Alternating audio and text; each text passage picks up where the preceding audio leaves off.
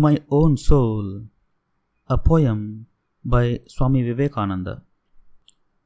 Hold it a while, strong heart, not part a lifelong yoke, though blighted looks the present, future gloom, and age it seems since you and I began our march up hill or down, sailing smooth over seas that are so rare Thou nearer unto me than oft times I myself, proclaiming mental moves before they were.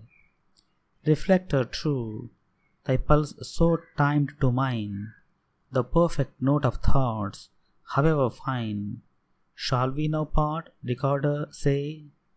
In thee is friendship, faith, for thou didst warn when evil thoughts were brewing, and though, alas, thy warning thrown away, went on the same as ever, good and true.